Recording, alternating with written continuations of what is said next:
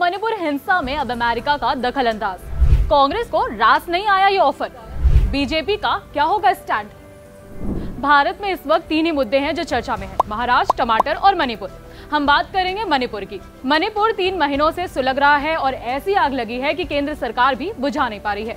वहाँ के रहने वालों और विपक्ष का सीधा सरल सवाल है कि मुद्दे पर अभी तक प्रधानमंत्री जी क्यों चुप हैं? देश विदेश की यात्रा कर रहे हैं, लेकिन मणिपुर को लेकर चुप्पी साधी हुई है। उनकी कमी पूरी करने, हालाँकि गृह मंत्री अमित शाह मणिपुर गए थे, लेकिन परिणाम निकला शून्य। अब प्रश्न ये है कि जो काम राज्य सरकार, मोदी जी और अमित शाह से नहीं हो पा रहा है, क्या वो काम अमेरिका करेगा? भारत के आंतरिक मुद्दों पर अब अमेरिका की दखल अंदाजी हो रही, देश की हिंसा को अमेरिका शांत करेगा। ये सब सुनने में थोड़ा अटपटा ज़रूर लग रहा है, लेकिन सच यही है।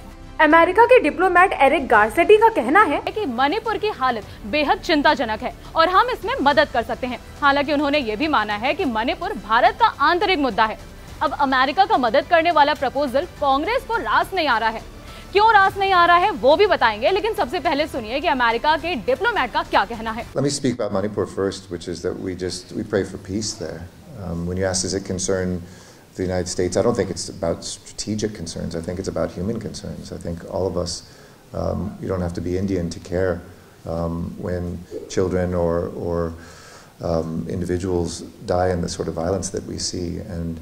We, we know that peace is the precedent for so many other good things. There's been so much progress in the Northeast and in the East here. The country has done some remarkable things in recent years, and those can't continue without peace. So we stand ready, willing, able to assist in any way if asked, but we know this is an Indian, um, this is an Indian matter, and we pray for that peace, that it may come quickly, because we can bring more collaboration, more projects, more investment uh, if that peace is in place. ये तो सुन लिया आपने America का पक्ष अब कांग्रेस पर आते हैं कांग्रेस सांसद मनीष तिवारी का कहना है कि अमेरिका में भी तो धड़ल्ले से गोलीबारी होती है तब भारत तो नहीं कहता कि आओ भैया हमसे सीखो मनीष तिवारी यहीं पर नहीं रुके। उन्होंने एरिक को और भी नसीहतें दी। खुद ही सुनिए कि उन्होंने क्या कहा है। यहाँ तक अमरीकी राजदूत का सवाल है। देखिए भारत में कई चुनौतियाँ आई। पंजाब में जम्मू कश्मीर में उत्तर पूर्व में।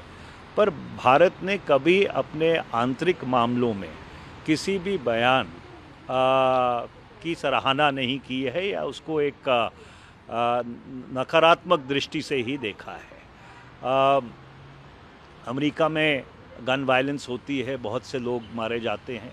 हमने कभी अमेरिका को ये नहीं कहा कि हमसे आप सीख लीजिए कि किस तरह से उसको आ, उस पर नियंत्रण पाया जाए। वो भी तो एक मानवीय त्रासदी है। अमेरिका में रंग भेद को लेकर दंगे होते हैं। वो भी एक मानवीय त्रासदी है। हमने कभी नहीं कहा कि हम आप पंथ को पंथ निरपेक्षता की सीख देंगे। मुझे याद है कि 1990 के दशक में जब श्री जब श्रीमती रॉबिन राइफल बहुत जम्मू कश्मीर के ऊपर उग्र राहत रहती थी। तो जो अमरीकी राजदूत हैं, रहे दो तीन राजदूत जो रहे वहाँ पे, यहाँ पे, वो बहुत ही संयम से अपने बयान देते थे। बहुत ही एक नपे तुल्य शब्दों का इस्तेमाल करते थे। तो शायद जो नए अमरीकी राजदूत आए हैं, जो भारत अमेरिका रिश्तों का इतिहास रहा है उसको, उनको संज्ञान में लेना ज़रूरी है। वैसे तो केंद्र सरकार देश के आंतरिक मामलों को लेकर काफ़ी सख्त रहती है। विदेश में बीजेपी को आंतरिक विवादों पर बात करते हुए कभी देखा या सुना नहीं गया है। अब ऐसे में जब कोई विदेशी राजदूत भारत को सलाह देता है तो सरकार का जवाब देखना भी दिलचस्प होगा। हालाँकि अभी तक प्रतिक्रिया सामने नहीं आई है। अगर ऐसा होता है तो हम आप तक खबर ज़रूर लाएँगे। तब तक बने रहिए जनसत्ता के साथ।